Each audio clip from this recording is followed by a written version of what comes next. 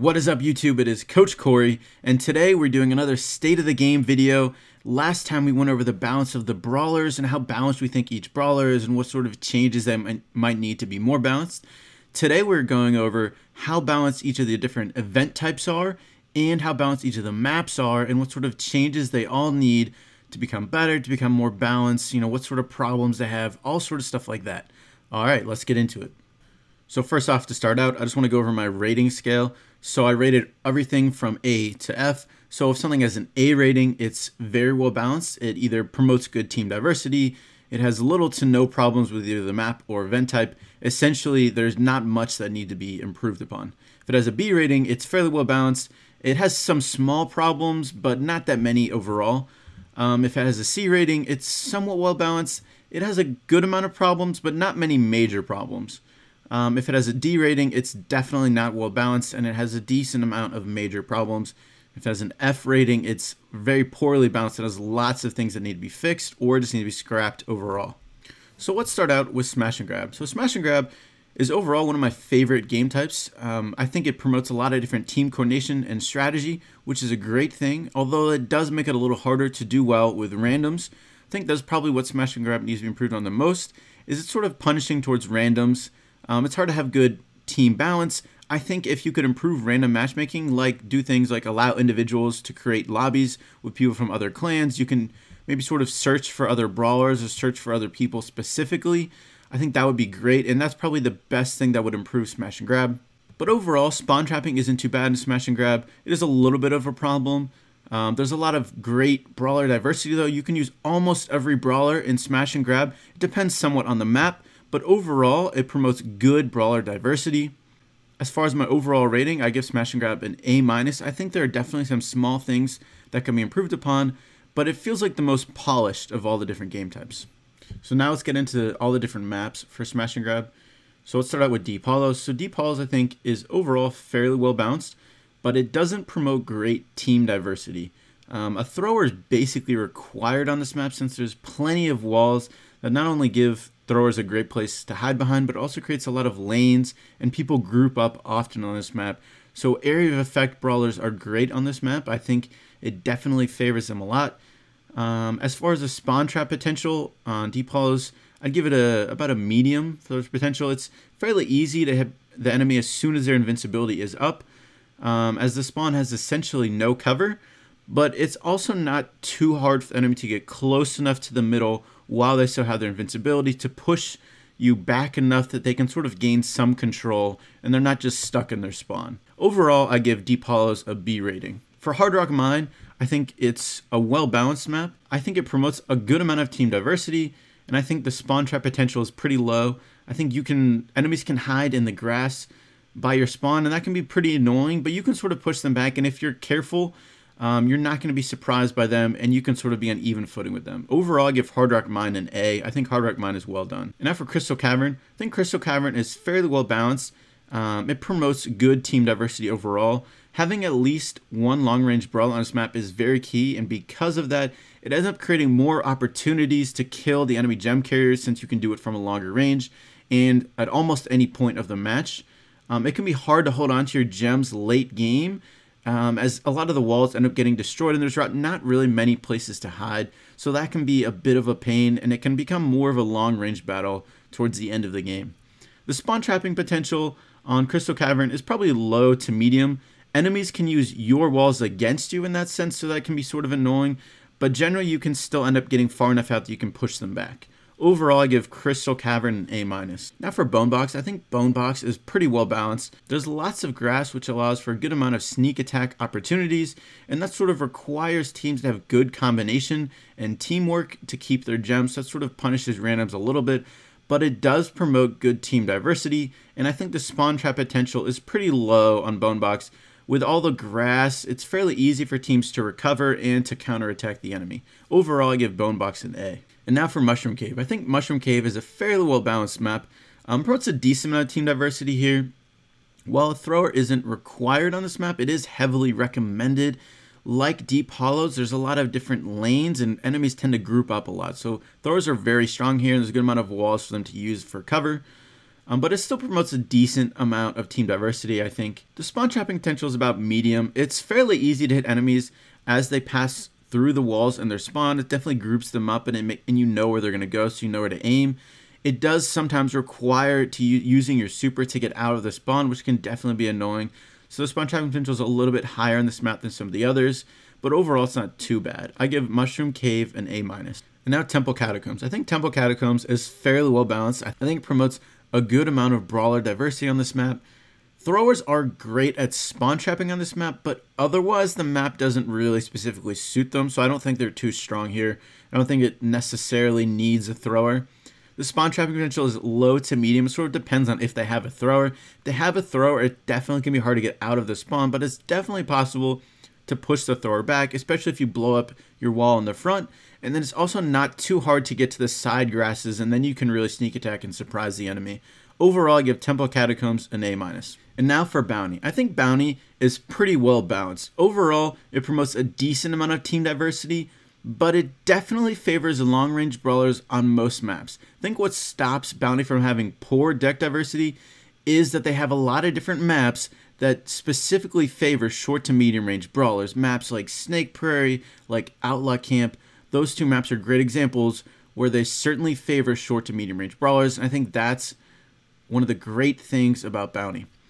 Overall, though, long range is definitely heavily favored in Bounty. On most of the other maps, though, having at least two plus long range brawlers is almost required, as most of the walls end up getting destroyed and the maps tend to become very open. With teams not really needing to stay towards any central objective, walls end up tending to be destroyed and teams can sort of be more campy they don't have to be as aggressive they that's where long range really shines is since you don't to push forward if any enemy team comes towards you you're able to hit them before they get there and then also makes it harder for them to get away this also makes it really hard to spawn trap people as as soon as you spawn in bounty um, since there's so much long range, it's really easy to strike back at the enemy. They can't be too aggressive trying to spawn trap you. So I think that's one thing that's done really well in Bounty. It's very hard to spawn trap. Overall in Bounty, I think the better team tends to win most often. I think that's one of the best things about Bounty.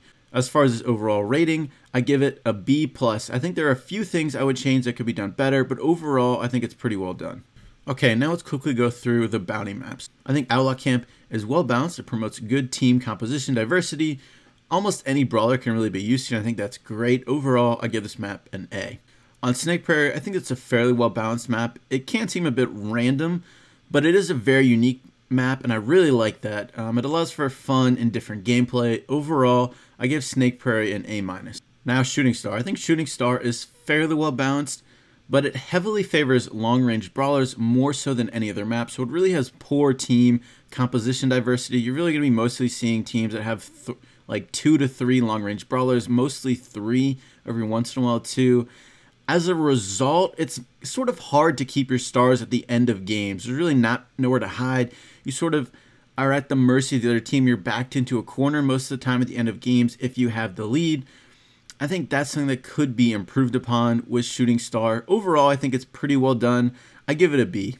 Now, Star Gulch, I think Star Gulch is fairly well balanced. It again heavily favors long range brawlers.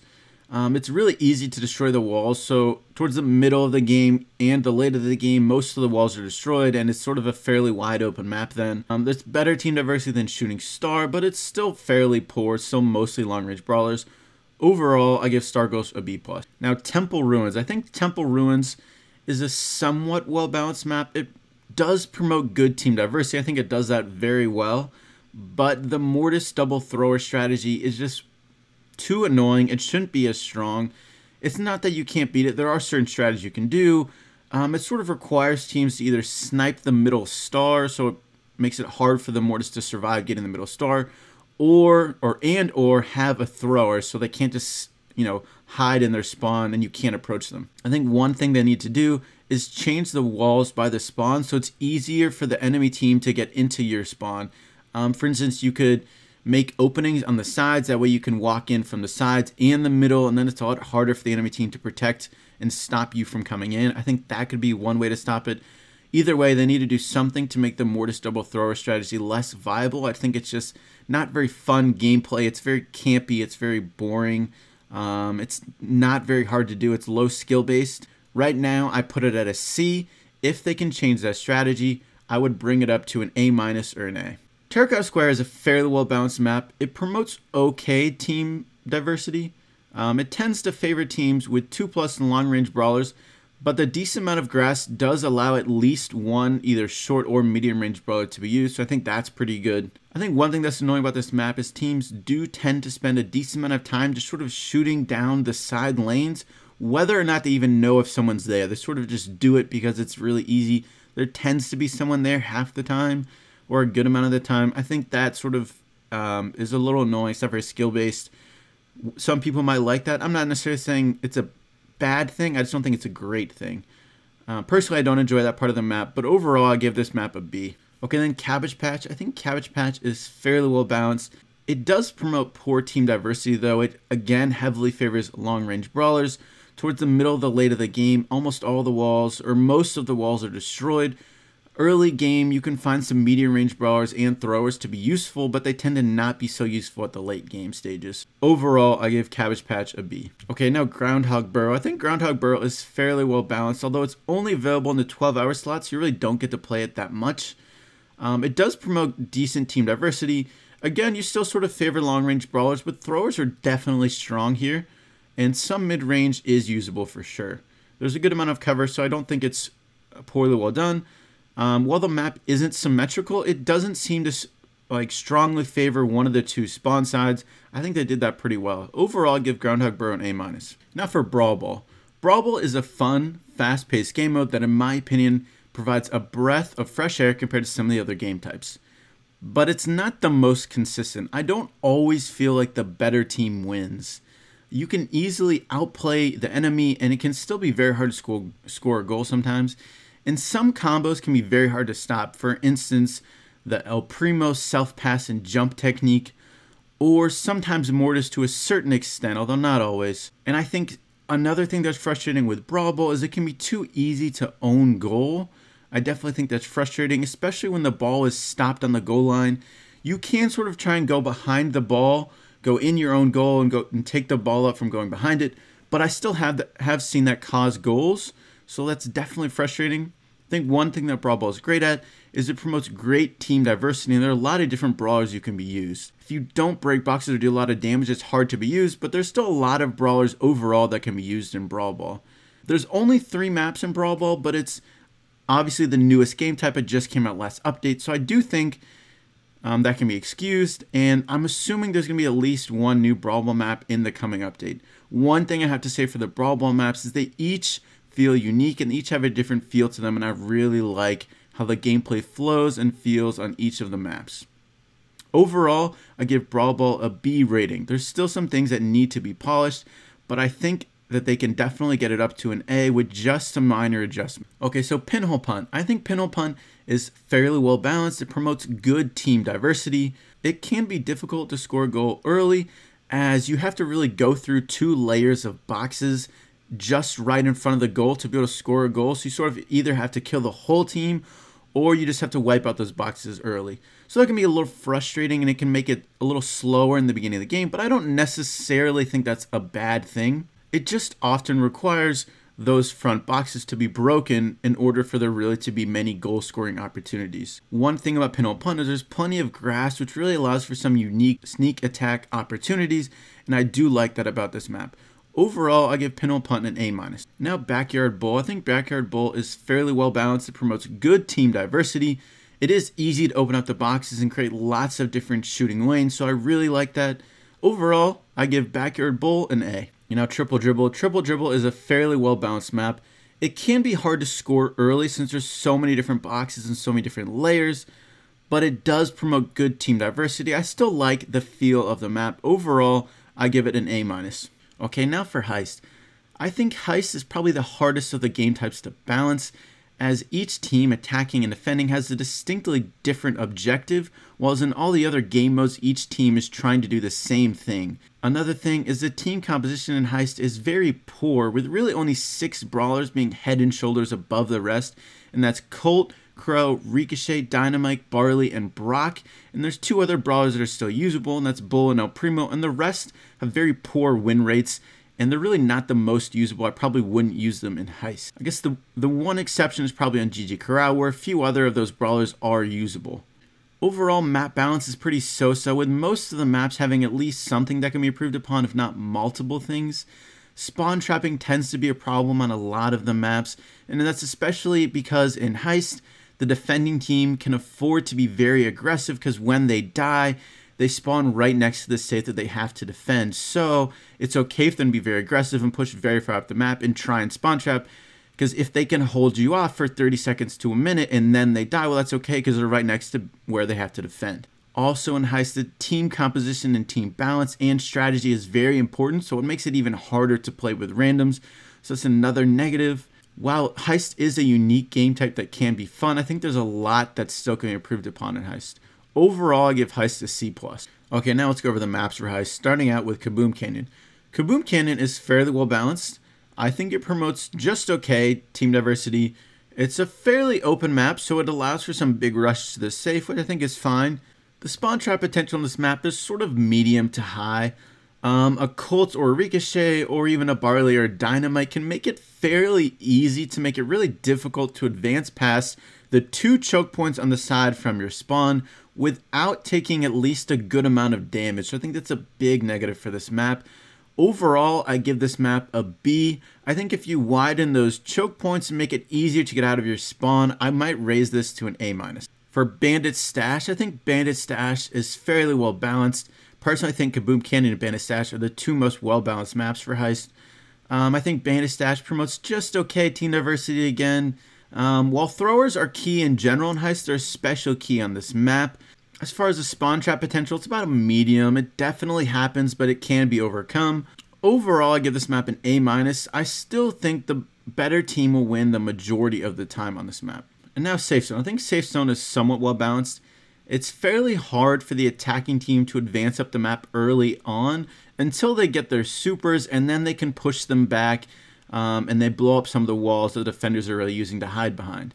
It's really easy on this map for the defenders to hide well and stall the opponent. As opposed to just killing them, it's really easy for them to stall them very well. I don't think that's great gameplay really, and that's what's really hard early on. The spawn trap potential on this map is medium to high. Those two choke points by the horizontal wall, sort of in the middle near the attacker's spawn, it creates really easy shots for the defenders and oftentimes it's easy for the defenders to know where the opponents are going, and it makes it easy for them to land shots, and thus it's pretty easy to spawn trap on this map, honestly. Um, it's hard to advance up the map through zigzagging, you really have to advance through straight lines, and that's why it makes it so hard. Overall, I give Safe Zone a B-. minus. Now GG Corral. GG Corral, I think, is not very well balanced. It clearly favors the attacking side. It's too easy for the attacking team to advance up the map, and it feels like the safe honestly has sort of low health. I think you need to fix at least one of those two things. Um, it does promote pretty decent team diversity though compared to the other maps on Heist. And I think one of the reasons for that is actually because attacking is so much easier. You can sort of use brawlers who are normally not very good at attacking but are good on defense like Shelly or Tara or even Piper. Additionally, the spawn trapping potential on this map is actually low since there's not very many walls and there's a high amount of grass, so it's really easy for the attackers to avoid the enemy. And actually, that's sort of why it makes it so easy for the attackers to win on this map. Overall, I give GG Corral a C+. Okay, now last but not least, Showdown. Showdown is a unique game type that while it has many strengths, it also has a few flaws. It's probably the best game type to play if you can't find a good team and you aren't very high in trophies. While some people have maxed their brawlers, aka reached 500, in Showdown, it's overall not very rewarding as you get past about 400 trophies. For most, it's not a sustainable way to gain trophies high up and is overall a big net loss for the whole 10 in the match.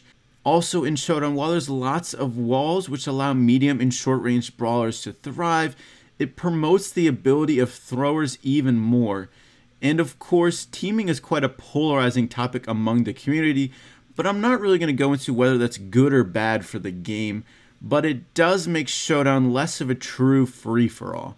Additionally, I do think some of these map layout problems in Showdown could be solved with just a nerf to throwers, so that's to be discussed later. Overall, I give Showdown a B rating. Okay, now for the maps I'm showdown. Starting with Death Valley. I think Death Valley is fairly well balanced.